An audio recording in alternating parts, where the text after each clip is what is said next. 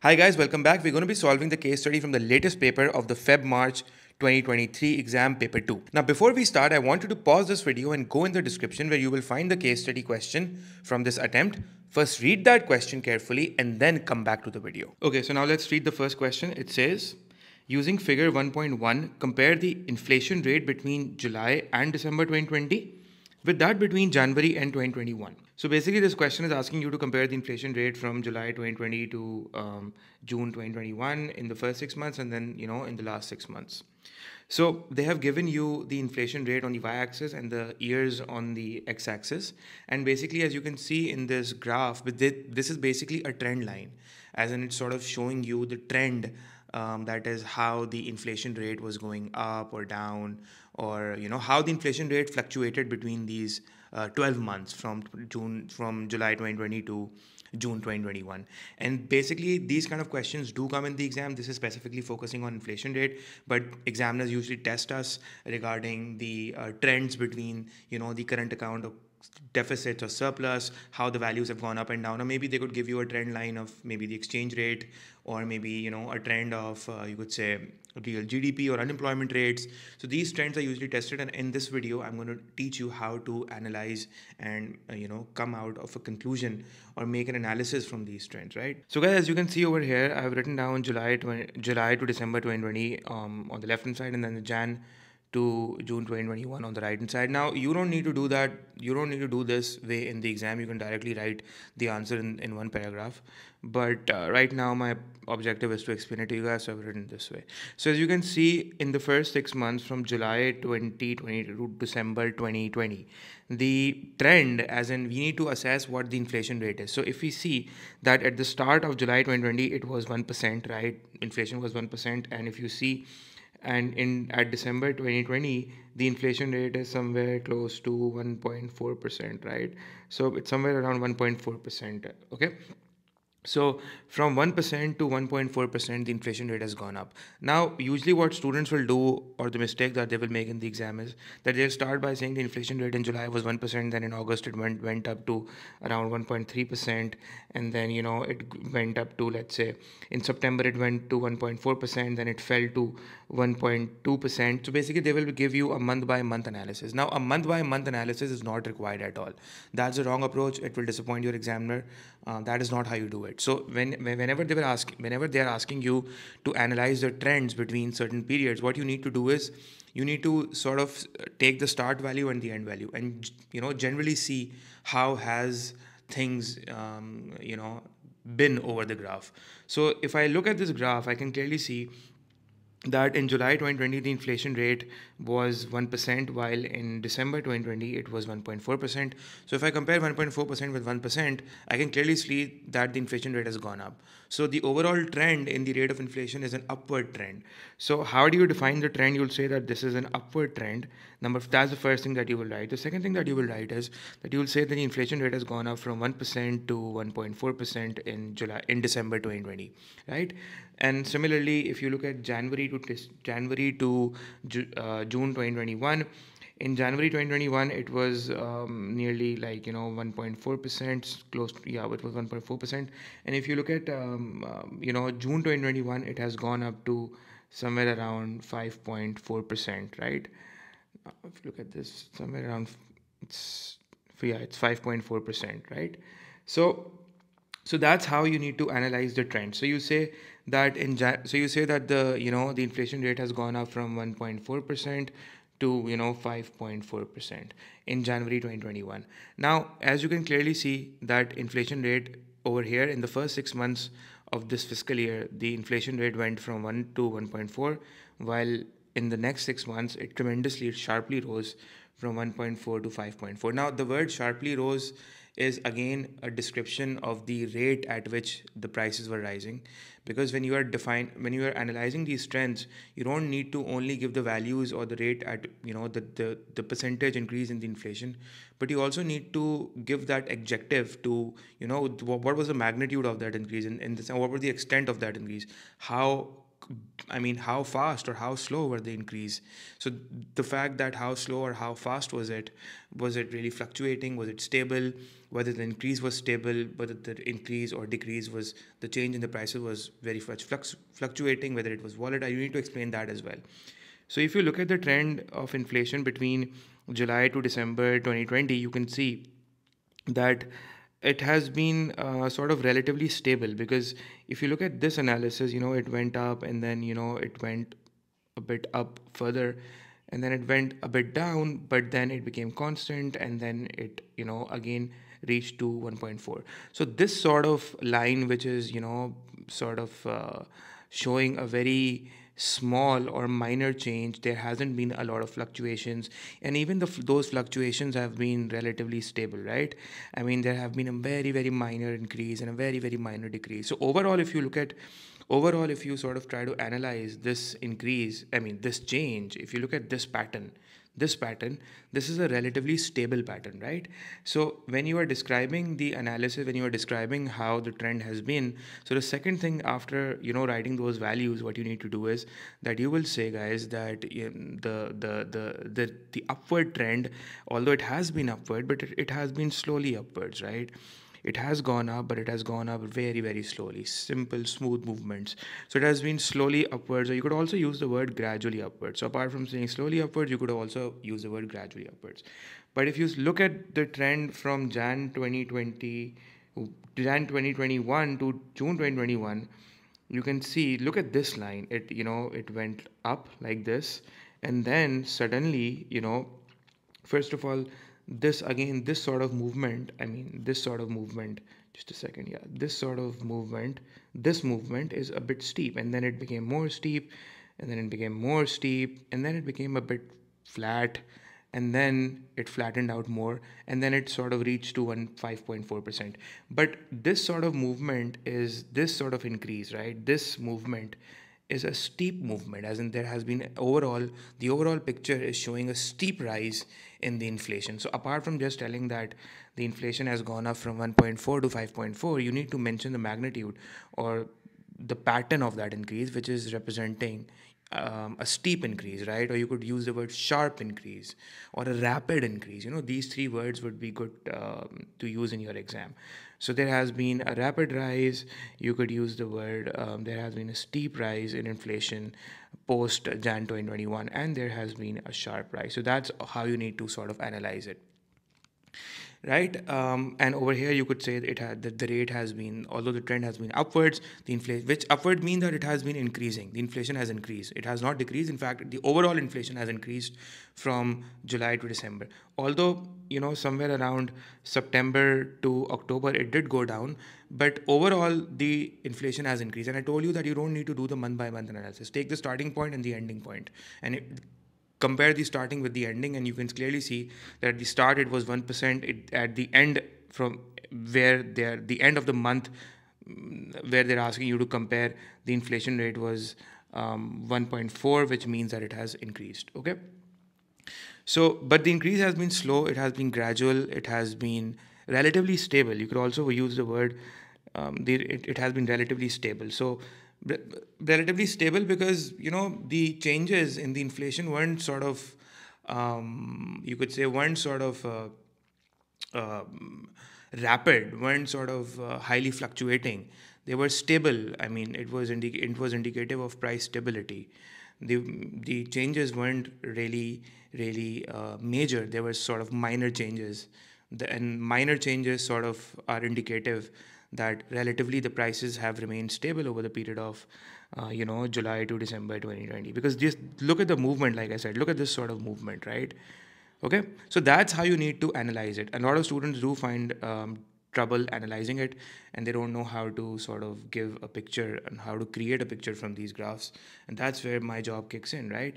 So this is how you need to sort of answer part A. But before I move on to part B, there are two, three things that I want to tell you. So, first of all, three things are required when you're analyzing trend, be it uh, you're analyzing the trend of a current account deficit or a surplus, if there exchange rates, inflation rates, unemployment rates, growth rates, GDP growth rates. First of all, you need to tell the value, the rate or value at the start and the rate of value at the end. The second thing you need to tell is overall, what do you feel about that trend? What do you feel about that that increase or decrease, right? Has the rate gone up or down? Or let's say, even if they ask you about, let's say, to analyze the current account balance, um, you know, in the period of two to three years, then um, has the, so first of all, apart from just saying has the deficit um, improved or worsened, maybe at the start it was this, and maybe the deficit sort of worsened, although in the middle it did improve, but towards the end, if you see that it has worsened, then, you know, that's how you need to analyze those trends. So, but what has been the overall feel look like? Has it improved? Has it decreased? Has it worsened? Has it gone up or down? Um, and then also apart from that, you also need to tell um, by looking at those graphs and trends that you know how bad or good the change has been. I mean the magnitude of that change, whether the increase or decrease was sharp, steep, uh, rapid, slow, gradual. You know these words are very much um, important um, to use in an exam, especially describing trends um, over the period of months or years, right? In fact, what I'll do is that I'll take this opportunity right now to actually write down certain words that you guys can use in your exam, which will help you master your case study analysis of these trends. So guys, the words that you can use while describing the trends, whether the increase or decrease has been steep or, you know, shallow, um, or gradual. So the different words that you can use is that you could say, and this is irrespective of whether you are, you know, um, men writing about or describing trends about the current account balance or the currency uh, depreciation or appreciation or the GDP growth rates or the unemployment employment rates right? So, or the inflation rate. So you could say if, if if you are saying that you know certain value has increased or whether the trend has gone up or the rates have increased the percentage have increased. So you could say whether the increase has been a rapid rise or not because rapid rise usually happens when the trend line or the graph is suggesting that there has been a sudden and you know a significant increase. So sort of a sudden and you know significant increase could um, could be you when when you can see from that from the graph so you could use the word rapid increase while analyzing the trend right? Another word that you can use is gradual rise and gradual rise you can use is when you're saying that although the rise there is a rise but the rise has been slow and steady right? So you could say a slow but steady rise could sort of indicate in the graph or the percentage could indicate that the rise has been gradual. Then steady could also be used. This is also another word that is used by economists. You can say that a steady increase is basically a continuous increase. That is it is increasing steadily as in you know it's going up and it's a continuous rise but it's consistent or you know it's stable as in it hasn't been really really steep um, as in it's not that the rates have jumped really really fast. So yeah there has been a continuous rise or maybe um, even if it's declining so a steady decline could be used. So the it has been continuous that it has been rising but it has been consistent. I mean maybe the rates have been going up by let's say 1% 2% or let's say 3% but the increase has been consistent and um, they have been stable right um, so yeah, the, in that case, you can use the word um, steady as well, where you could say continuous but consistent or you know stable. So these words could be used. And number four is basically yeah. So and if you're explaining, let's say you're saying that there's a decrease. So you could talk about whether the decrease has been, if you're talking about a decrease, so you know whether the decrease has been a slow decrease a slow decrease could basically be used when you're trying to say, you know, there has been a gradual and sort of steady decline. So, gradual and steady decline could indicate a slow decrease. Uh, at times, the graphs show that there has been a decrease in the growth rates or maybe the inflation rates or whatever, but that decrease is not slow. In fact, it's quite steep. So, a steep de- decrease or a rapid decrease could sort of indicate, you know, a significant drop, a significant and sudden, you know, uh, drop, right? Just like a steep increase could indicate a rapid rise, right? A rapid increase, the word where I used a rapid rise, it could also be used like a steep rise, okay? So, so you need to know these because when you're analyzing these trends and these percentages. Um, another word that you could use is, let's say, a moderate decline or a moderate uh, you know decrease. Uh, moderate decline shows a slow a slow decline as in you know the decline has been slow. So the slow decrease or a moderate decrease is somewhat similar a slow but sort of steady decline right? So these are different words all economic words that you can use to analyze these uh, graphs. Also remember that when you are analyzing these lines you know when you're analyzing these trends and these percentages you must also notice that you apart from just mentioning the start and the end date i mean the start and the end value and whether the rise has been upward or downward and then what's the magnitude of the rise i mean you know you need to use an adjective against it as in whether it has been sharp steep gradual steady whatever. But you also need to analyze where i mean as far as whether these values, uh, the increase or decrease in these values have been stable or they have been fluctuating. This is an, an important thing to analyze apart from just analyzing um, the values and apart from just analyzing whether the trend has been upward or downward and apart from just analyzing whether it has been a steep rise or a shallow rise or a rapid or a significant decline, whatever it is. But as an overall picture, you know, if an overall graph is given, so whether when you sort of look at that graph or when you look at that line, is it an indicative of a picture that is that is representing stability, as in the fluctuations were not really really bad, as in they were not significant, and you feel that there has been a stable, it is showing stability, as in there have been changes but not that significant or minor changes. So that is indicating stability. Or you feel that you know by looking at the graph there has been you know significant fluctuations right because this is also important to analyze as far as the fluctuations and whether they are indicative of volatility in them or whether they are indicative of stability in them.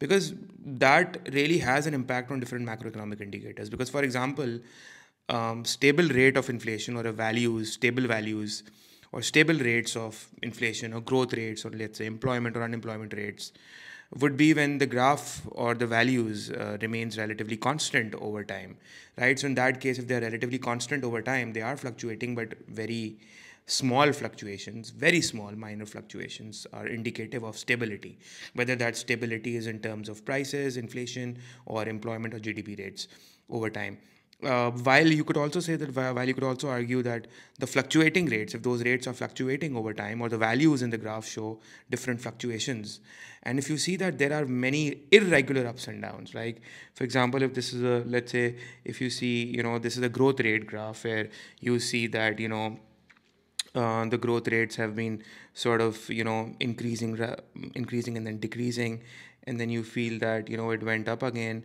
Now this is sort of indicating a picture of uh, you know it, it, it is sort of indicating a picture where these uh, ups and downs have been quite irregular because we can't really assess if for example this is year one here and then this is year two here.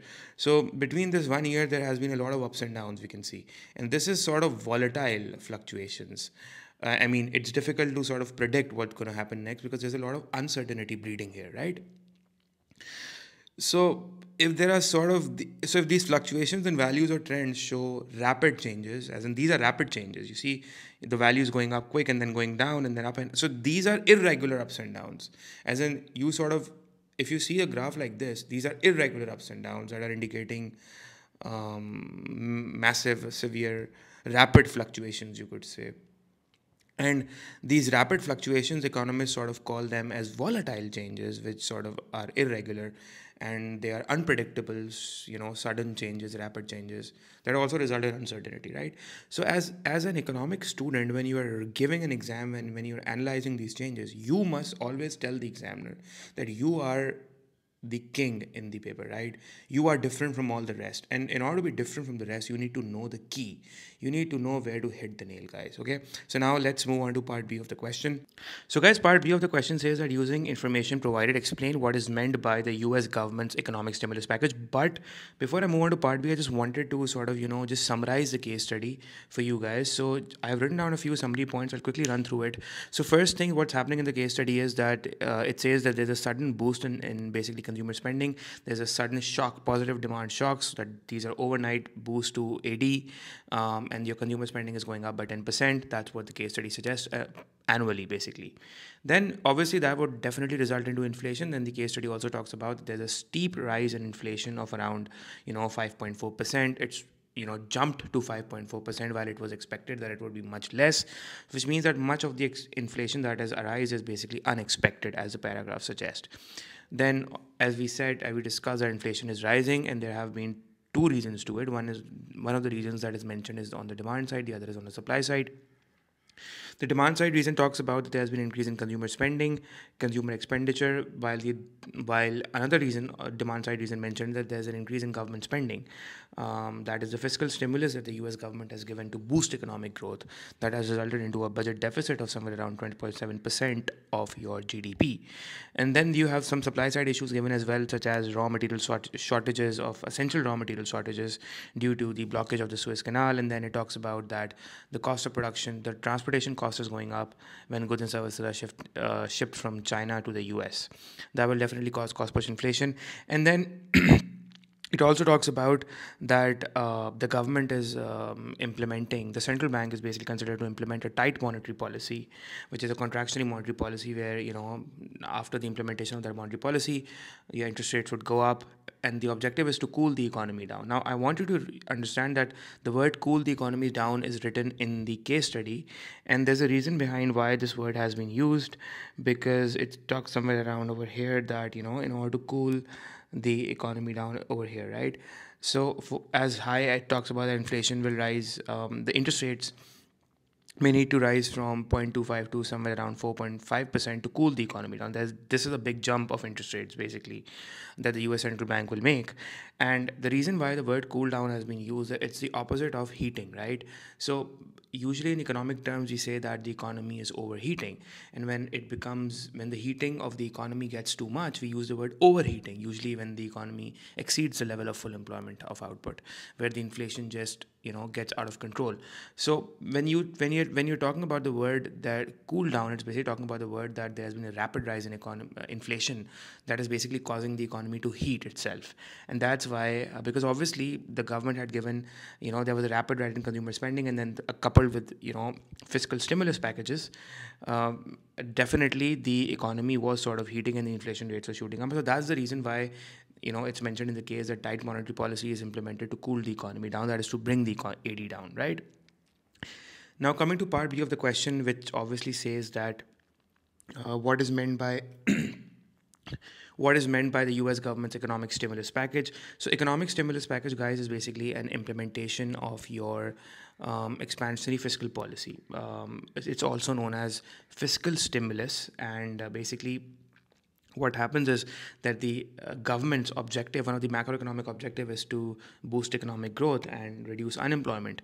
So economic stimulus packages are basically these deliberate attempts to you know boost growth in order to reduce unemployment and bring the economy out of recession and you know reduce the slowdowns in the economy through deliberate expansionary uh, fiscal policy or you can say through discretionary fiscal policies which are expansionary in nature and it's also known as fiscal stimulus, right? Like I've written down over here as well and these policies the the the economic stimulus basically consist of cutting down your taxes to boost consumption and increasing uh, your government spending uh, which represents we know that government spending is basically an injection into the circular flow of the economy that will cause AD to rise. So that's one of the explanations that you can give about what an economic stimulus package of the government means right? But then that's not the only thing that but see, you also have to give the reference to the case study as well that for example the case mentions about the amount of the um, government the, the amount by which the government spending the government the US government has injected the stimulus into the economy,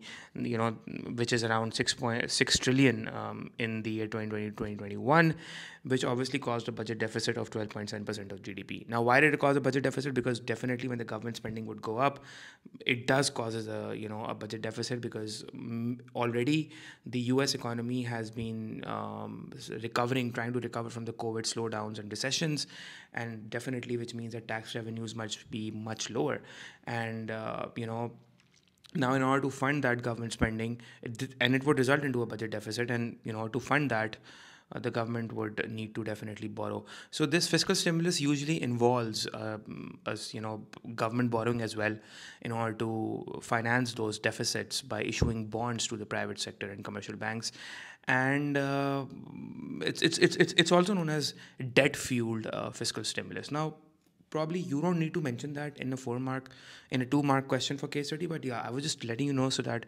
you could maybe you know in a past paper paper two question this would help you write. Uh, you, you can use these words to write your answer. Now part c says that consider the extent to which an increase in interest rates could reduce the rate of inflation in the US. Now, it's a policy question. The, first of all, remember that whenever questions like assess whether, or assess to what extent, or consider to what extent, or maybe discuss whether, or discuss in general, uh, discuss questions as well. All these questions require you to evaluate the narrative, whatever the whatever narrative the question is suggesting you to do, right? So, for example, the question has given us a narrative, or the question wants to take us a narrative and to explain that narrative, that how a rise in interest rates would reduce the rate of inflation in the economy. So if you are evaluating that narrative, you need to, you know, place an argument against that narrative that when will it not, or when will it not be effective, or to what extent will it be effective, right? So in this question, you need to analyze the narrative and then evaluate that narrative as well. So when you're analyzing it, you need to give an in-depth explanation of how an increase in um, interest rates could reduce um, inflation, creating that chain of analysis, and then evaluate that uh, narrative by giving a counter narrative that when will it not? Because maybe it would depend upon certain factors right? So for example first of all remember that when um, interest rates in the us economy would go up and central banks would increase interest rates um, basically it's an example of tight monetary policy or contractionary monetary policy right? Remember that because interest rates are the main mechanism or interest rates are the main tool for um, uh, causing uh, you know creating that um, transmission mechanism or you know affecting various variables across, um, across the economy by going through a transmission mechanism and then creating those changes in those variables across the economy by reducing aggregate demand basically. And like the case suggests that it wants to cool the economy down and the objective is to reduce aggregate demand and that is why because the case suggests that there has been a rapid rise in inflation so that is why we know that a rapid rise in inflation is not good. It is undesirable because it could cause the economy to possibly overheat. And that's unsustainable and undesirable. And that is why you are implementing an expansionary monetary, I mean, sorry, a contractionary monetary policy. So, guys, in your analysis, what you will write is that a rise in interest rates. First, you will say that a rise in interest rates is an implementation of uh, contractionary monetary policy, and then you will explain how would this actually work. And how will this work is first of all, a rise in interest rates would increase the cost of borrowing. But we need to see how the rise in interest rates would sort of work across uh, different variables or affect different variables um, in the AD equation by bringing up and finally bringing upon a change in the aggregate demand. And that is exactly what the transmission mechanism of monetary policy is. So, what's basically going to happen is that as interest rates go up, first of all, it is going to increase the cost of borrowing. That is, it will make it expensive for consumers to borrow and increasing the opportunity cost for consumers to borrow money.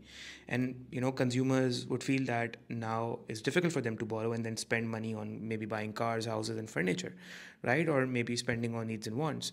And this would reduce the consumption expenditure in the AD equation and shifting the aggregate demand to the left. And when AD goes down, inflation rates would go down, right? The second thing how inflation uh, sorry the second way in which how a rise in interest rates would affect your um, inflation is or how would it bring the inflation down is that again it is going to increase so basically interest rates are also returns on savings as well for people who deposit money in banks and earn interest on it. So, an increase in interest rates would basically increase those returns on savings, which simply means that it is going to increase the incentive to save, right? And instead, the incentive to spend or borrow money would go down. And as a consequence, what's going to happen in the economy is, in the US economy, is that the saving ratio in the US economy would start to go up, which will again reduce consumer spending, right? And then again, it will affect the consumption expenditure in the AD equation by bringing down uh, the AD from AD1 to AD2. Um, you, you don't need to make the diagram because it's a four mark question, but yeah, you need to know that it's going to reduce the aggregate demand. So, but again, it's not just you know you don't you don't need to just write in the exam that a rise in interest rates increases cost of borrowing and it reduces AD. You need to explain that mechanism, how that rise in interest rates hits different variables throughout the economy, right? Before bringing a finally decline in aggregate demand. Then a rise in interest rates would also increase those monthly payments on um, on those variable mortgage rates. We know what mortgages are, that is house loans. It would also affect them for people who have taken mortgages, right? They have those house house loans on their head knocking their head all the time and those house owners or homeowners will feel that their disposable incomes are now going down since the variable mortgage rates are going up which would again reduce uh, consumption in the economy um, as less people would take house loans and this would again reduce the consumption in the AD equation right?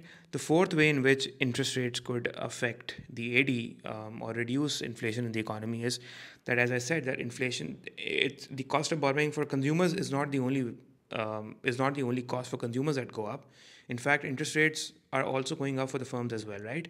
So as interest rates for firms go up, the cost of borrowing for firms will go up as well, which will make it difficult for them to borrow money. And as a result for firms the marginal propensity to invest for firms would go down. Now it's up to you to use this word marginal propensity to invest. If you use it it's fine. If you don't it's fine either ways right? I usually use it so it's up to you. So um, um, and then what's going to happen is that as firms invest less then the investment expenditure in the ad equation goes down from AD1 to AD2 right? And then there's a, a there's another way in which aggregate demand would go down uh, reducing inflation rate that is through the effect of interest rates on your exchange rates right? And this is one factor i've noticed while checking the exams that usually students miss out right?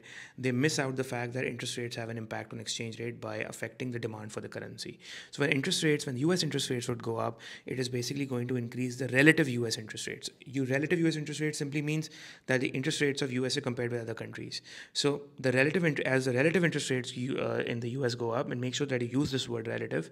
So as the relative U.S. interest rates would go up, it would make it make foreign financial investors um, more attractive towards U.S. you know U.S. Uh, banks, since it would make it attractive for foreign financial investors to deposit money in U.S. banks and the US financial institutions, as obviously those investors are always chasing for better interest rates and better returns, right? And that is going to result into hot money inflows into the USA, which will basically increase the demand for the pound. So as more money comes into USA, definitely the investment would take place for the financial investment in banks would take place and other financial institutions would take place in dollars. So the demand for dollars will go up um, as more foreign currencies converted to dollars right to make that deposits in the banks. And that will appreciate the currency and the subsequent impact of appreciation we know guys is that it reduces the price of imports and it increases the price of exports, right? Assuming that the PED for exports and imports is elastic. So what's going to happen is the price of imports go down, the quantity of imports would go up, and as the price of exports go up, the quantity of exports would go down, which would have an uh, impact on import expenditure. That import expenditures would go up right? While export revenues would go down. Now, import expenditures and export revenues are basically components of the AD equation. Simply it because when import expenditures go up and export revenues go down, the X minus M or the net exports in the AD equation go down. And net exports are another, you know, uh, net export spending is another component of the AD equation. So when that goes down, AD again goes down. So that so these are the different ways in which interest rates reduce or a tight monetary policy actually works and this is exactly what you need to explain in the answer right now guys the question was asking about assess whether um, the monetary policy uh, would be effective in the sense that to what extent would a rise in interest rate reduce the rate of inflation, right? Which definitely means that now you need to evaluate as well. So I've written down a few points that you could give for evaluations, and you could say that you know the extent to which the interest rates would actually be effective in reducing the rate of inflation would depend upon a few factors, such as it would depend upon what is the level of consumer and business confidence. So, if the level of consumer and business confidence is very high, um, where you know they are really confident about the future state of the economy, and the fact that their future employment prospects are secured and their future business prospects are secured as well. So in that case, a rise in interest rate would not reduce aggregate demand because despite the fact that cost of borrowing is is is going up, still consumers and firms might you know borrow and spend because of the fact that confidence would overshadow or offset the fact that the cost of borrowing is rising and consumers and borrow consumers and firms will still be willing to consume and spend. Hence, the the this would sort of reduce um, the fact the effectiveness of the monetary policy in reducing um, inflation because this so which obviously means that there's no guarantee that a rise in interest rate would end up you know reducing inflation because of the fact that it also depends upon the level of consumer and business confidence. You could mention that. Also guys you could also say that you know it depends upon the size of the interest rate cuts. Maybe if the interest rate cut is huge then it will have a bigger impact. Although in this case it does seems huge because you know they they they have mentioned about the fact that there would be a huge uh, rise in interest rate. Yeah so basically it says that you know it's expected to rise from you know 0.25 to you know as high as 4.5 percent. So that's a huge jump in interest rates. So in that sense yes it would be effective then because the interest rate rise is uh, sort of quite high. So in that sense yes it could be effective to an extent but it depends upon other factors as well. You could also say that it also there are time lags involved as well. Now what does time lags mean? It simply means that you know the, there are time lags uh, for interest rates uh, to have an impact on the economy. Um, and you know it's a widely accepted uh, phenomena that interest rates could you know take two years to have a full impact on the wider economy because uh, it takes time a change in interest rate takes time to you know fully um, fully feed through the different channels of the transmission mechanism before it uh, ends up uh, either increasing AD or reducing AD, right? And it, it you could also say it also takes time for consumers and firms to actually react to changes in interest rates, right?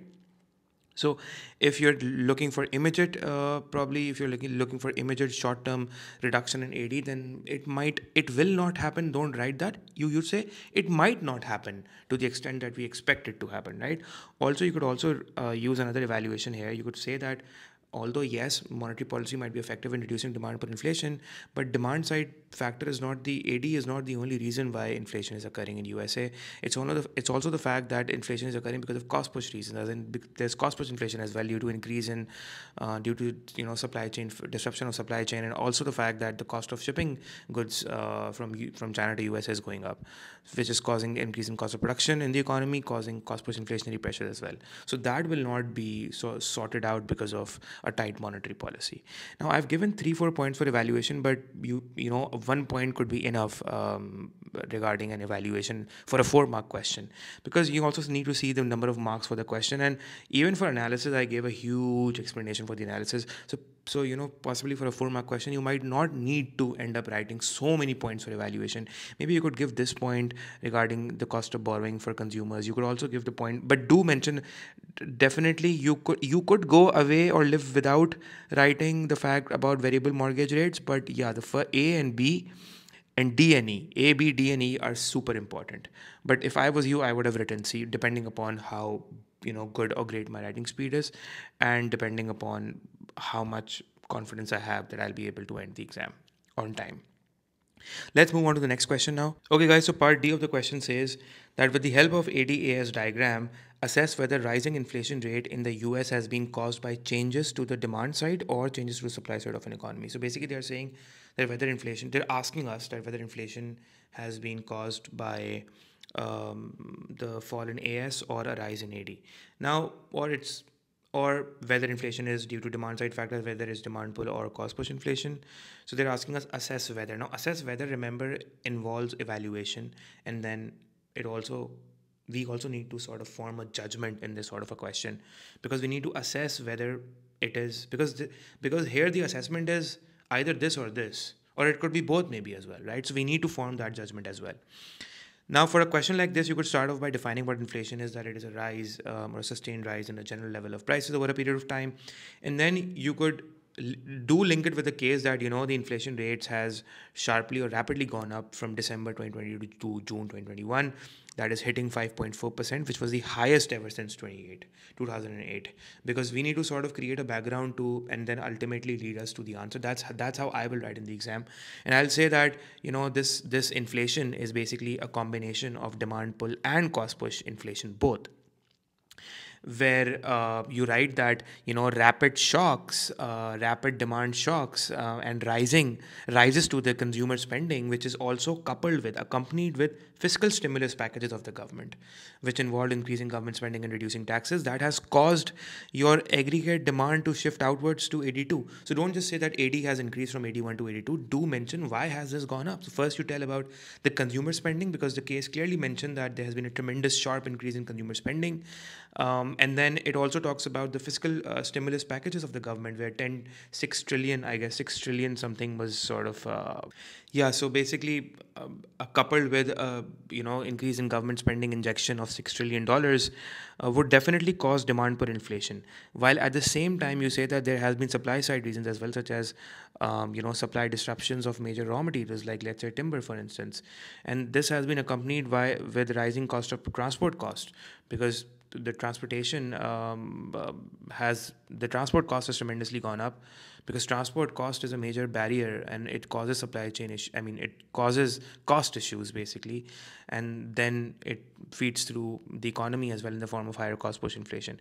And what will this happen? This will result in negative supply shocks causing sras to fall to sras2 as shown in the diagram below. So now you sort of make a background and then you say that ultimately this has been diagrammatically represented in the below diagram. And then you just, just don't make the diagram. You sort of explain it on the right side or you know down below. You also need to frame an explanation of the analysis of that diagram. So here basically i've made an ads diagram and what's happening here is that inflation is the result of both demand pull and cost push factors right? So you need to shift the aggregate demand to the right and also shift the aggregate supply to the left right? Now first of all one thing is very important. So you label the diagram properly you make these shifts properly proper shift. Don't make crooked lines draw it with a you know scale.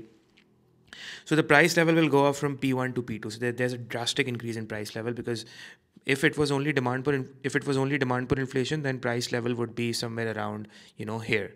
It would have been somewhere PA. But now since it's cost push as well, so the effect has been multiplied in in in terms of the increase in prices, right?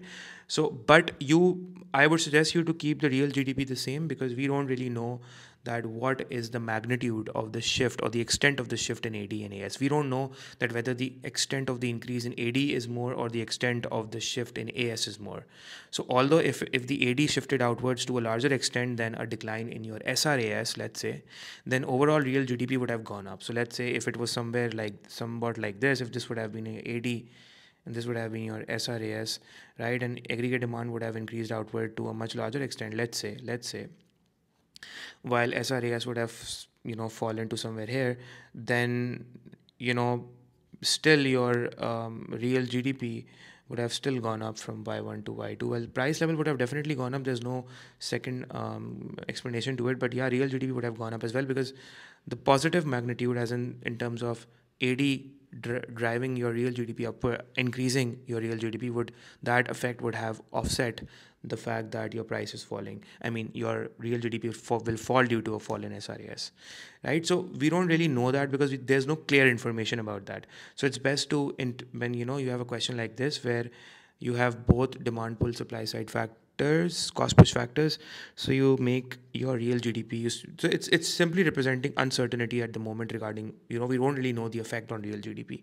So what I've written as far as the analysis of the diagram is concerned is if what I've written is that first of all price level goes up from P1 to P sorry P1 to P2 which obviously has the effect of both demand pull and cost push inflation in it, right? And as AD goes up, we know that firms will expand output. So you need to analyze demand pull inflation as well. You don't just say that because the AD is going up, price level rises. But how does price level rise? If AD goes up, why is price level rising? You need to explain that. And the reason is that when AD goes up, firms expand out output. And in order to expand output, then you, that puts pressure on your existing or scarce factors of production, which drives up the factor prices, right? And as factor prices go up, then firms need a higher price to incentivize, in, as in, as factor prices goes up, firms need to transfer that factor prices on consumers, right? And as a result, that feeds through the economy through higher demand pull inflation. That's one reason. There's another reason that you could give as well that as firms increase output, that sort of drives up the factor prices and it drives up their cost.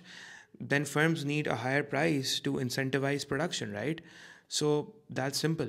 That's a simple logic. So definitely, you know, prices then start rising in the economy as firms, you know, increase output. And it feeds through a high demand pull inflation. At the same time, you need to also tell that you know the cost is tripling in terms of the transport cost. It says that it has tripled over the period of you know it has been the highest uh, in terms of somewhere mentions that it has uh, you know tripled uh, to uh, somewhere around uh, yeah it has the cost of shipping goods from China to US has tripled over 12 months right which shows a tremendous rise in your cost of production three times as um, as from previous which and as at the same time there are supply chain issues uh, as well which is obviously causing a further fueling um, in the price level and you could say that the impact on real GDP at the moment is uncertain. So that's how you sort of explain through your ADS diagram that how demand pull inflation is occurring, and then give it give reference to the to the case study as well. But the major important part over here is that you guys should not miss out is the fact that you need to sort of form a conclusion that whether this um, inflation has been more on the demand side or the cost side. And i have framed a conclusion that is how i would write in the exam where i have you know instead of making an objective statement i've sort of taken uh, you know a middle road um, i would say where i have not put myself at a big risk while writing a frame a conclusion. And that is exactly a technique that i'm going to be teaching you over here that how you need to sort of frame that. So for example uh, what you need what you could write in the exam is that you could say that for instance to conclude inflation in 2021 is the result of both demand pull and cost push inflation. That is both demand side and supply side reasons.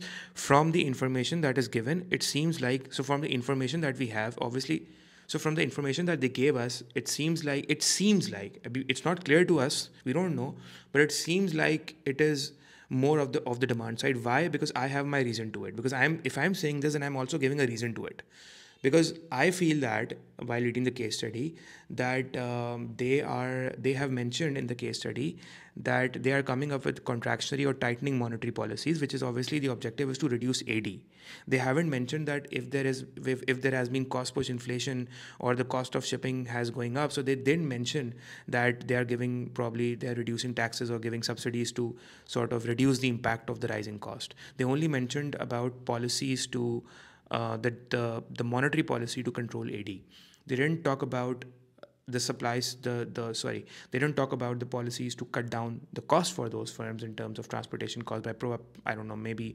providing um, some sort of better infrastructure or maybe some sort of uh, um, tax reductions or subsidies to reduce their cost you know? So they, they, they didn't mention that so that's one evidence um, although this evidence is not really solid this evidence is weak. And this there is and by the way you could mention that this evidence is not solid this evidence is weak. You can that is all what evaluation ultimately leading to a conclusion or a judgment is all about. That is what examiners are testing you that what sort of understanding can you develop out of a case study right? So again when you feel that when you feel in the exam that okay fine the evidence sort of is weak then mention that it's weak. It's not a problem. It's okay. But if you are 100% confident it is weak then you can mention that right? Exact remember that for questions like these there would no there would not be a one fixed answer which fits for all right? Because these are normative opinions and it would vary. But then the examiners are looking for the right logic that you have given. If your logic is right it will be awarded also they talk about the fact that there has been booms and you know there has been a rapid rise in inflation rate where they brag about the fact that consumer spending has been excessive and then they also brag about the fact that um, they stress over the fact in fact that there has been stimulus packages and all which is again giving um, much indication about rising ad um, on a greater magnitude. And then they only talk about rising cost in one paragraph and then they don't even say that you know this has been a big concern for the government and then they move on to the fact that you know the uh, um, we want to sort of come up with a tightening monetary policy to cut down ad right? So from that we can make a conclusion. But how do you need to write that answer? The, the way you're going to write that down i want you to see that very carefully. And if you're by the way guys if you're following it if you're following whatever i'm teaching you i want you to comment that because i need to see the comments because at least i would know that yes whatever content i'm providing it's working on you and you're understanding it. So basically then you need to come up with the fact that what you can write is that from the information that is given. So the, this is how you need to come up with. From the information that is given, it seems like the government is coming up with monetary policy tightening to reduce AD, which gives us an indication. It gives us an indication. We're not certain, but it gives us an indication that demand side factors may have contributed more to demand pull inflation, as there's no mention is made by the US government to come up with policies to reduce cost and increase SRAS. Hence, we can, you know, indicate. So again, now very carefully look at this, what I've written. Now, this provides us with some, if not all, it provides us with some evidence or hint if not all, or it provides us with a reasonable amount of evidence to derive a conclusion to derive a conclusion that yes it might be. It again i'm saying it might be. Don't say it will be. It might be. It may be more on the demand side factors. But then again i have not ended my answer over here. There's another thing in order to sort of stay safe in the exam. There's another thing that i've written and that i've written that and look at the way that i've written then i've written that but on the deeper side but on the deeper side of perspectives, what I've written is that there is insufficient information in the case study to derive a clear conclusion as what has had the greatest impact on inflation. So in that sense, we could say that there is.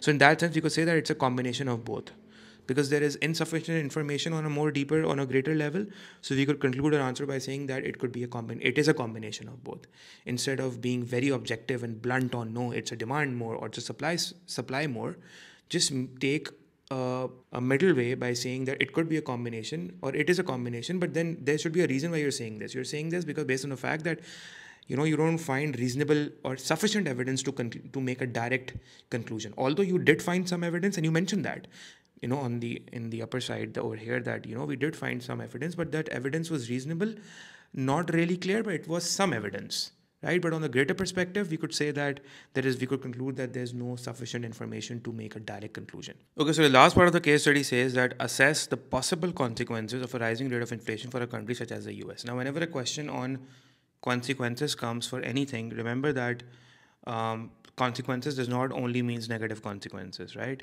So it could also mean positive consequences. It does means positive consequences. So inflation also does have some positive consequences. So you need to tell both the consequences. Um, so for a question like this, also now I want to take the opportunity to sort of explain the consequences of in- inflation in detail. So I'm going to be explaining the points which will be relevant to this question, but I would sort of bring in more detail so that I could sort of cover this topic of consequences of inflation somehow. Try to complete this, uh, do whatever best of my abilities. So basically, uh, you could start off by saying you, you don't need to define inflation if you already defined it in part D, right? So you could say that a rising inflation rate could have both positive and negative consequences for the US and um, much of it also depends on obviously whether this inflation is cost push or demand pull inflation in the economy. Um, central banks for the US, such as the Fed, um, that is the Federal Reserve, the Fed's target is low and stable inflation, that is 2%. And that is also mentioned in the case study over here that the target for the inflation uh, for the the US central bank, that is the Fed, is how much it is 2% uh, it is targeted annual inflation rate of 2%. Also remember that 2% is the mild inflation rate, which is indicative of price stability, and that is why most central banks usually target 2%.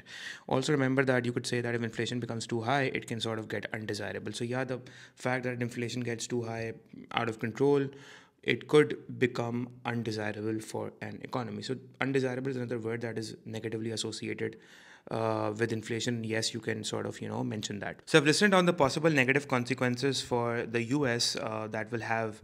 Uh, if the inflation uh, sort of gets uh, high and it could be that for example you know with inflation the first of all the first disadvantage that you can give is that it results into the falling of the purchasing power now you need to explain what that means and remember that purchasing power falls when the wage rise is lagging behind the price rise, which means that you know wages are not rising in line with inflation, and overall as well, the purchasing power is deteriorating because of a rise in cost of living as well. And while while analyzing this point, you could say that especially those people who are on fixed incomes, they will suffer the most because of a decrease in their real incomes due to inflation.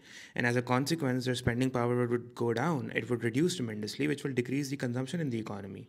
And it would have a negative effect in terms of welfare, in terms of living standards and desirability as well. And it would definitely affect the poor people, right?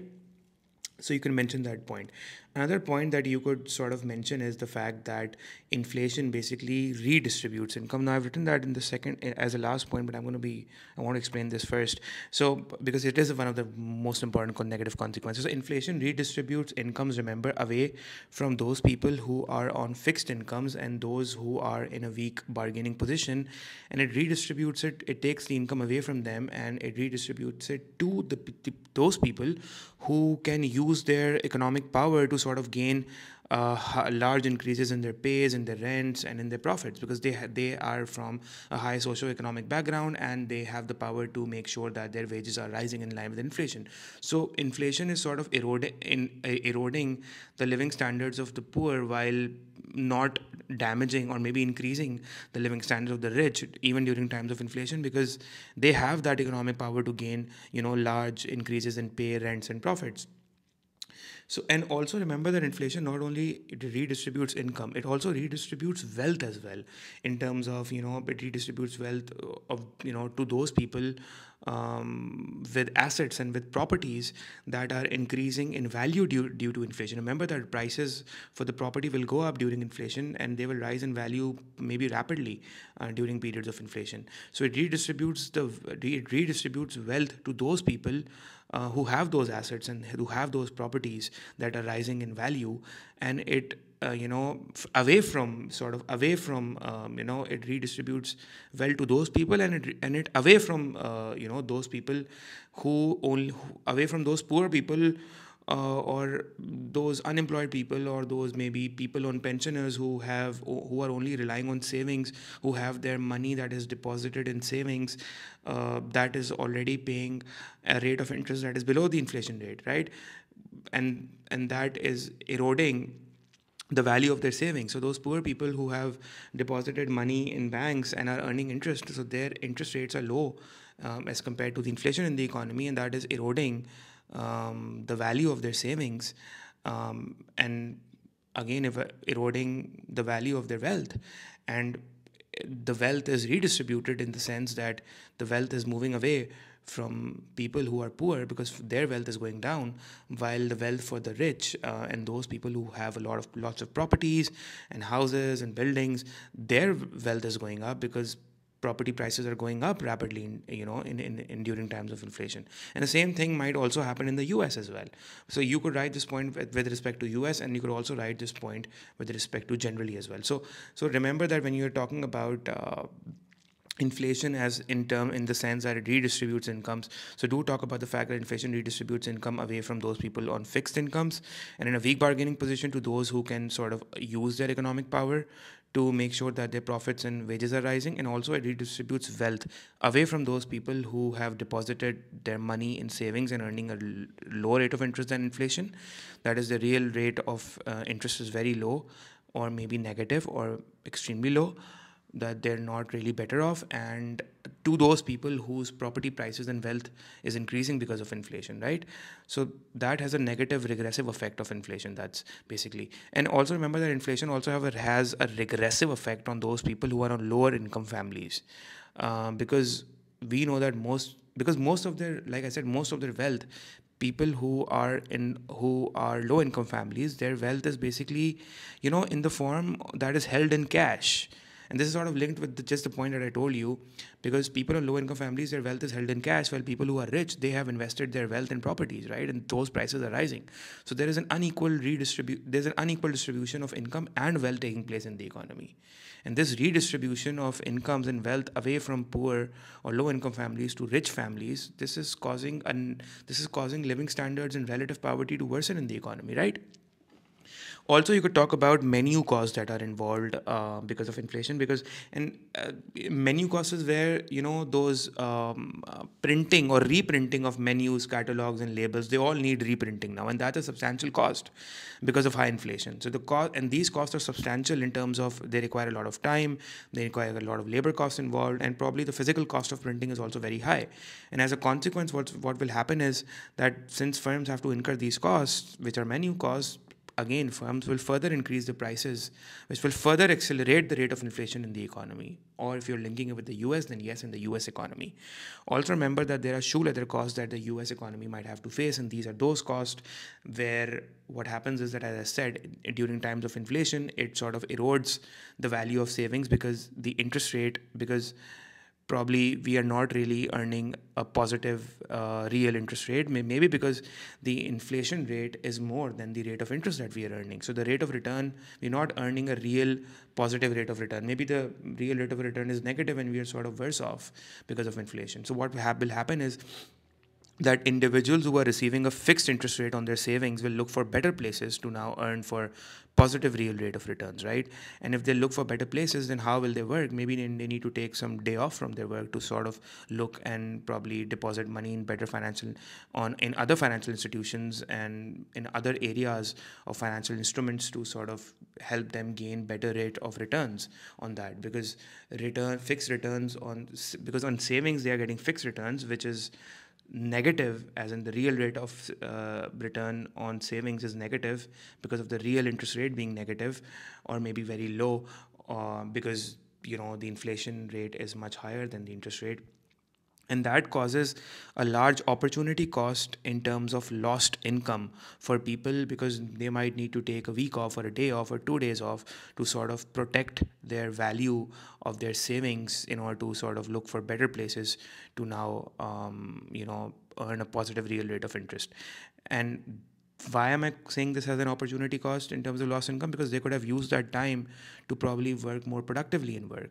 They could have used that time to probably do some more work or maybe work overtime and extra earn extra salary in their in their workplace, right?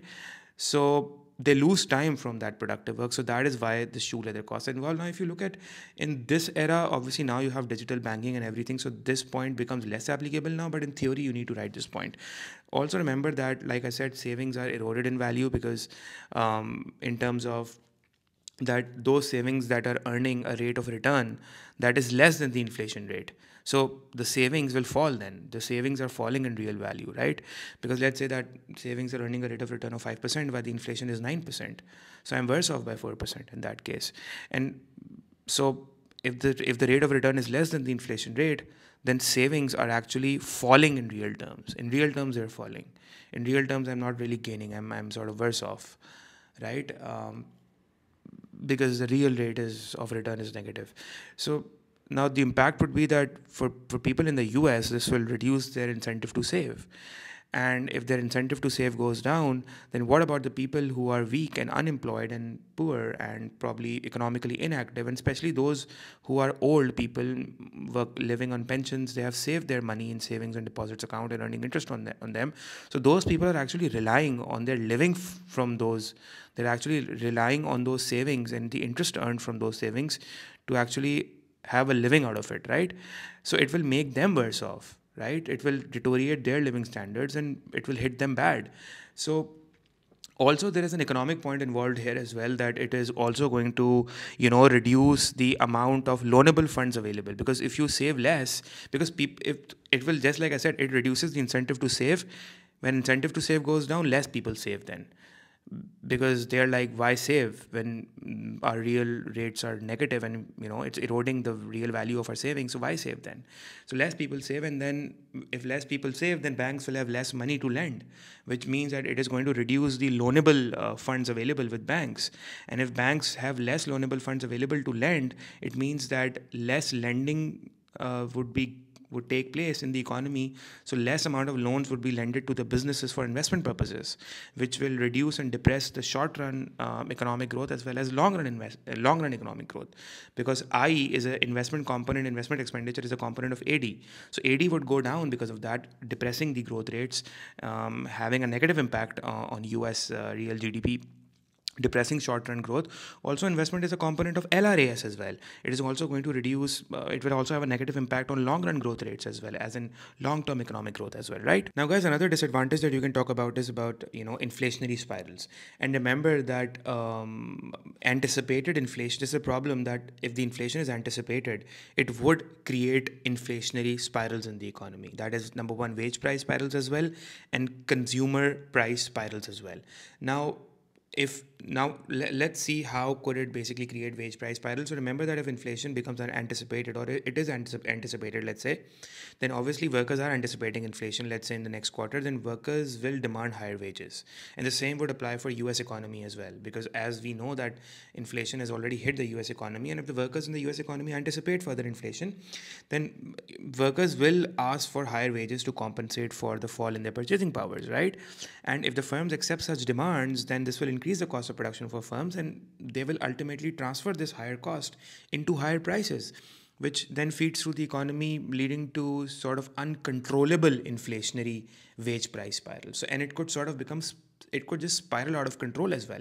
And that is where it becomes so undesirable and unhealthy for the economy where it just becomes out of control right also remember that uh, inflationary spirals could also be consumption driven where we know that consumers are rational and if rational consumers who are anticipating inflation they will be like you know if prices will get if things will get goods and services will get more expensive in the future so let's start spending now so rational consumers who anticipate inflation will bring forward their spending now to protect themselves from the future price increases in the future right? And so that they don't have to spend uh, or they don't have to pay higher amounts when inflation actually rises more in future. So they will so this will increase the immediate consumption in the economy which will suddenly boost aggregate demand which will create new demand pull inflationary pressures. New sort of um, which weren't which weren't really um, expected at the moment, but because of an inflation expectation, this suddenly happened that cons- consumers started bringing forward immediate consumption. And if eh, imagine if all the consumers in the economy start doing that, so it will create new demand pull inflationary pressures, leading to you say that they, they will lead to consumer-driven, uh, you know, price spirals where again inflation can become uncontrollable. So that is again a negative impact of inflation. You can use that for your uh, section C questions as well in your um, essays. And as far as obviously you could apply this to the US example as well in the case study. Also remember that when inflation is high and volatile, it's it's just it's volatile means it's rampantly, unexpectedly, constantly changing. And if it's high and volatile, it's not good for the confidence of the economy, especially for the confidence of the businesses, because they cannot be sure what their costs and prices are likely to be now because it's constantly changing inflation is constantly changing and this uncertainty keeps them worried. And this uncertainty also results into a fall in capital investment of the firms.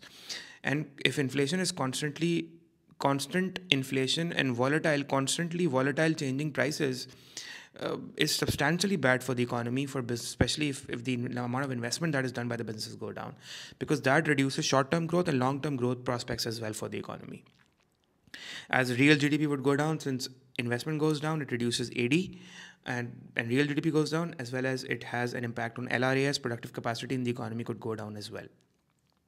Also remember that inflation results into a fiscal drag. Now, what is a fiscal drag? Fiscal drag is where you know workers. So let's say if you have if you're having demand pull inflation where real GDP is going up, we know that demand pull inflation is associated with periods of higher economic growth and real GDP. And as a result, let's say um, if uh, may, maybe let's say if workers wages are rising because workers are pushing for higher wages in order to match inflation and let's say that workers receive the workers actually receive a pay increase that matches matches their inflation right?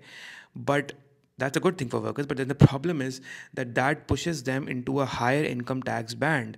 So because in a progressive income tax system we have tax bands right? Um, higher income tax bands have higher marginal rates of income taxes so what it does is that it pushes them into a higher income tax band in a progressive income tax system and that income tax band is let's say right now not adjusted for inflation so in real terms they will end up paying more taxes and they and the individual is not better off with this pay increase because now they have to pay a higher marginal rate of income tax, which will actually make them worse off than before.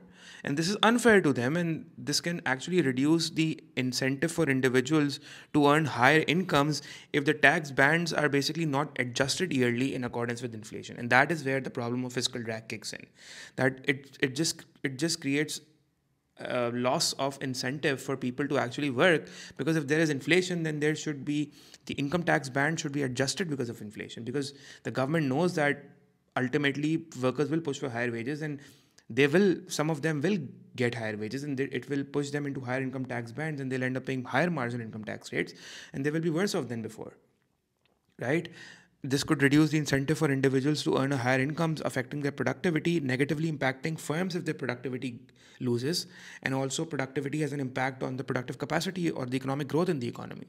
So that is where the fisc- problem of fiscal drag is so um, you know problematic right?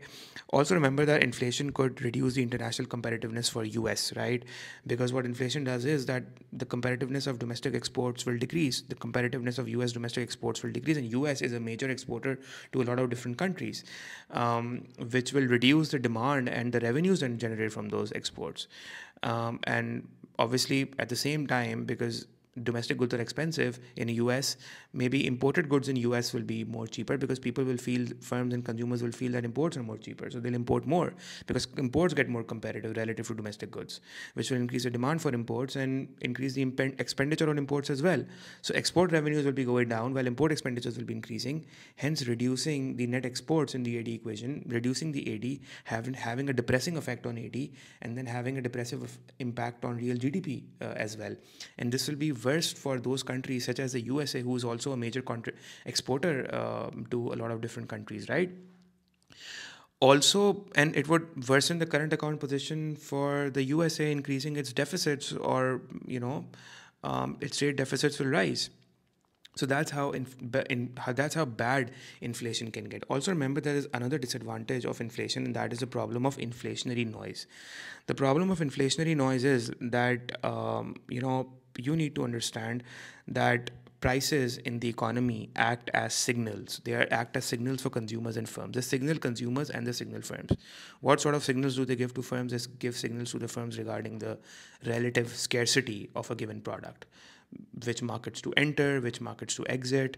And also they tell consumers they guide consumers on the utility uh, basically basically they sort of give uh, they, they sort of um, you know signal the consumers on the utility the consumers place on goods and services right? And what happens is that if inflation is high right if inflation is increasing and especially if inflation is volatile not only high if it's volatile as well then individuals and consumers and businesses right they both will lose faith in sort of the signaling aspect of the prices of the price mechanism basically. And they are confused with sort of in, they don't know how to interpret the price change whether whether we should take this price rise as a good thing as in something that we it the markets are expanding and we should you know enter the market and produce more and expand production or and consumers don't really know that whether we should sort of if the prices are rising so is it because we are placing a higher utility on it or maybe because um, the prices are rising because of a rising cost of production, or maybe because prices are rising because now this good is worth more. It, confuses them as well. And if it confuse, remember that when businesses and consumers are confused, they will take irrational decisions. And so consumers and firms both are confused about how to interpret those price changes and they also don't understand why they keep on changing and this uncertainty is a problem because this uncertainty can put consumers off consuming they won't consume. They don't know how much to consume now. They might probably consume in wrong numbers. And it also puts off businesses from investing as well, right? So it reduces AD and it reduces economic growth in the, hence reducing economic growth in the economy since C and I in the AD equation go down and real GDP falls. Also remember guys that inflation, especially if it's cost push inflation, because USA is also having cost push inflation hit by um, disrupting of the supply of goods and services, especially raw materials, and also because of transportation cost rising. Cost push inflation has a worse of, of impact than demand pull inflation because at least with demand pull inflation, your real GDP is going up, you have economic growth um, and your cyclical unemployment, that is demand deficit unemployment, is falling.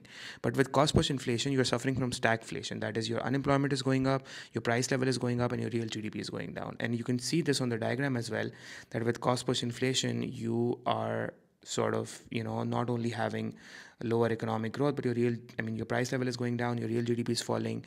You sort of have structural unemployment in the economy, and this, this, this the industry is the industries are shutting down because they can't survive this higher cost and that's a bad thing for the economy especially for its long-term growth prospects for the usa which is known as stagflation as well. So this is bad for the economy. It's bad for USA. So the fact that you know you, you need to talk about the negative con- possible negative consequences. So you need to talk about the negative consequences both as inflation in general, then sort of focus a bit on demand side, and then on you know as far make sure you mention uh, cost push inflation as well. Right. Also emphasize on the fact that whether it is high or volatile or what, what sort of inflation it is, but also remember that you know not inflation not all inflation in the economy is bad for the US economy and not all inflation is harmful, which means that inflation do have certain benefits as well. For US economy, it will have as well and in, in, in, in general as well. Especially remember that if inflation is low and stable, and sorry, if inflation is low and stable and there's demand pull inflation, it remember that that inflation is beneficial because it's sustainable and it is also desirable for the economy since it is causing your economic growth to take place, your real GDP is rising and basically you can see an upward movement on your short-run aggregate supply curve. And an upward movement on your short-run aggregate supply curve is representing an extension in SRAS. That simply means that firms are increasing output. And when firms are increasing output, they will hire more workers. It will reduce your cyclical unemployment, that is demand deficit unemployment, increase economic growth, result in higher GDP, higher real GDP. It will also increase the government's tax revenues as well, and they can spend those tax revenues on providing more essential public services, providing subsidies to probably firms, essential firms, key industries, again resulting in economic growth from the supply supply side as well and providing and investing in infrastructure and you know health and um, uh, education etc so this inflation is actually good for the economy but then also remember that you need to evaluate that it depends upon what the rate of inflation is.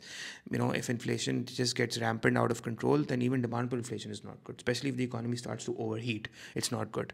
Okay now these points i'm going to be talk, telling you in general. Uh, you can apply in this question as well but remember it's a six mark question. There's a limit to the amount that you will write. But like i said in the in the start as well i will take this opportunity to you know give you all the content on inflation as possible i can get. I hope you're enjoying this video and if you you are then i would like to see your comment in the comment section as well. Also remember that demand pull inflation like i said results in falling unemployment economic growth and tax revenues go up. So yeah that's about it. As and and and, and also the fact that um, also, the fact that there's another benefit of inflation that uh, inflation will not only keep unemployment low, but inflation also basically reduces the real value of debt. Now, a lot of people don't really understand how this works, so let me explain it. Also, it also reduces the real value of debt. Now, we know that debt is fixed. Debt could be mortgages, it could be general loans, it could be house loans, um, car loans, etc., etc. right? So overall debt, um, whether held by uh, government firms or consumers, would go down in the economy.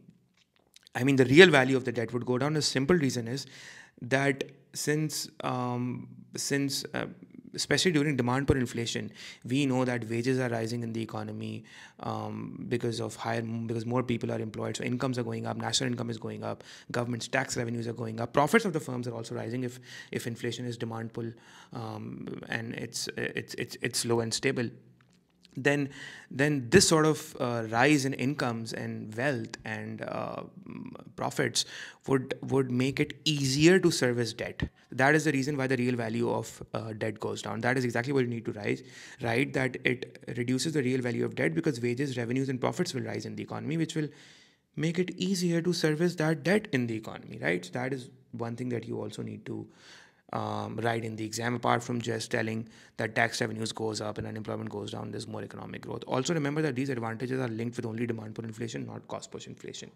Also remember that workers will enjoy as well because they because in demand pull inflation they will sort of come up with you know so I, in inflation they will push for higher wages and if they might get higher wages as well. Also remember they might some of the workers don't need to push for higher wages as in a lot of the unemployed workers will be employed as well because obviously when firms will expand output there's an extension in sras and because of a rise in ad firms are hiring more workers. So automatically the way more workers will be paid now. Initially they were unemployed but now they will be employed. So overall incomes will rise and wages will rise in the economy and workers will enjoy the pay increase right? Even if the in, pay increase is only limited or just matching a small or if, even if its increase is only small to match the inflation increase or the price increase. But the, the good part about a wage increase is that it keeps the workers' productivity high. And it also remember that it and also remember that workers are workers by in the morning but they are consumers in the evening so a pay rise would subsequently translate into higher consumer spending later on which will also boost more consumption and ad and real gdp in the economy right so there's a psychological impact of receiving a pay rise in this aspect as well also remember that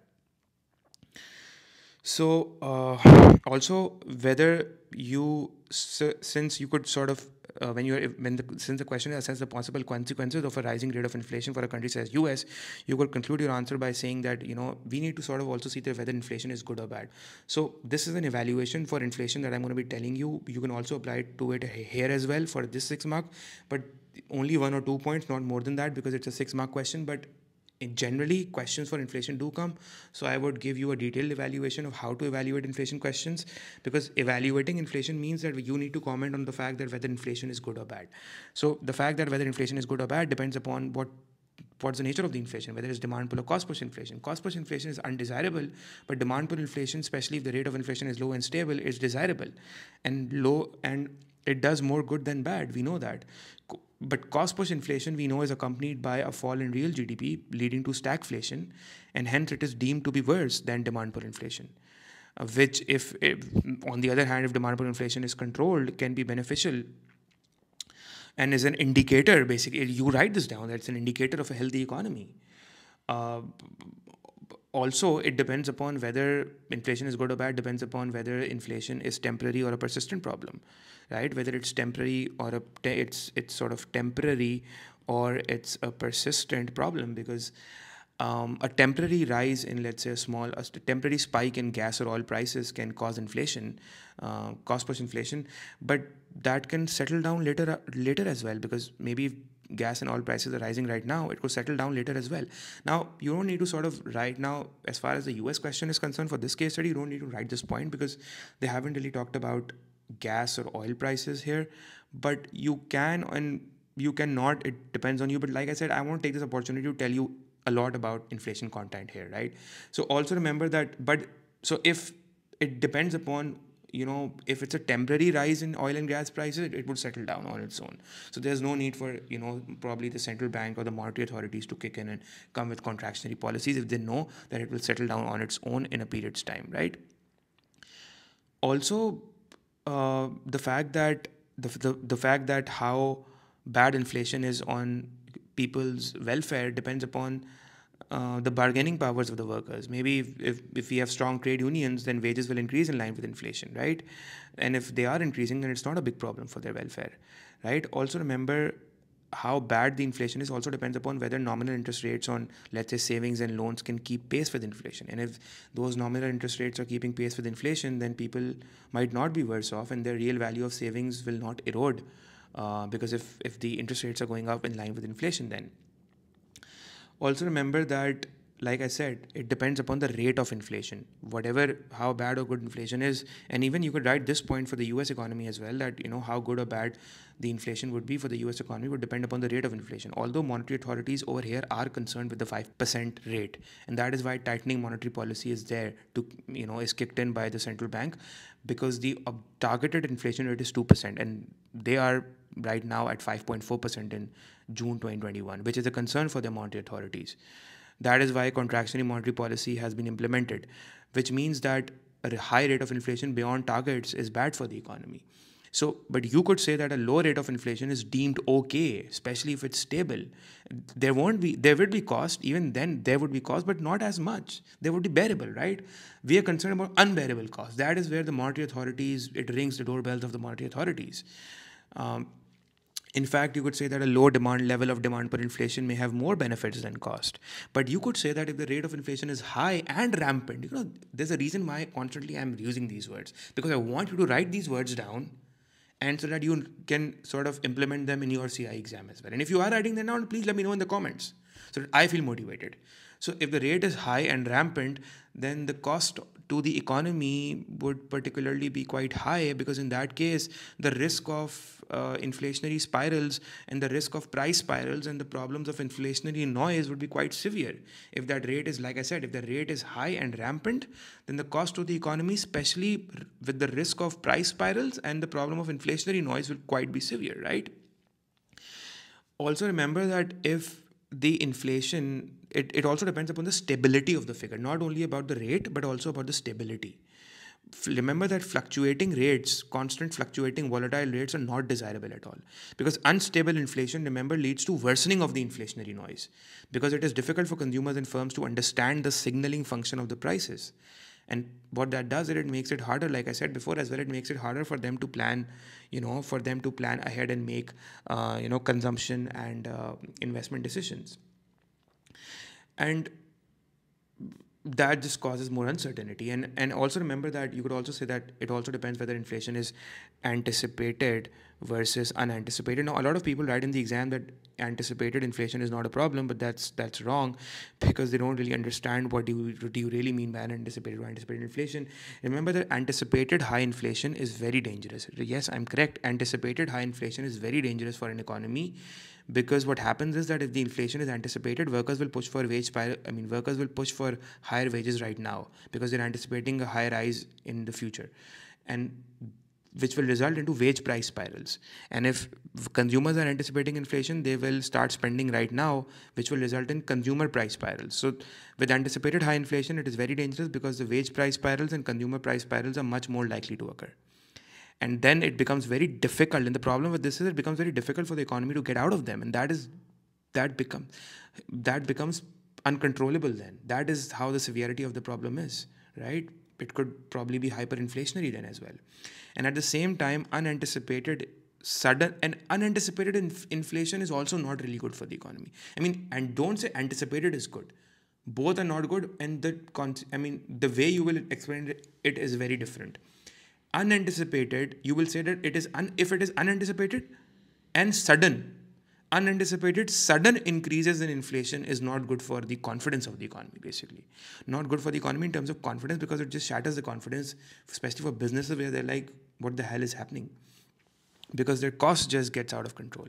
So at the same time, like I said, unanticipated sudden increase in inflation is not good for the economy and it could lead to a decline in real GDP, real incomes and consumer spending as well and falling investment for, of the businesses as well.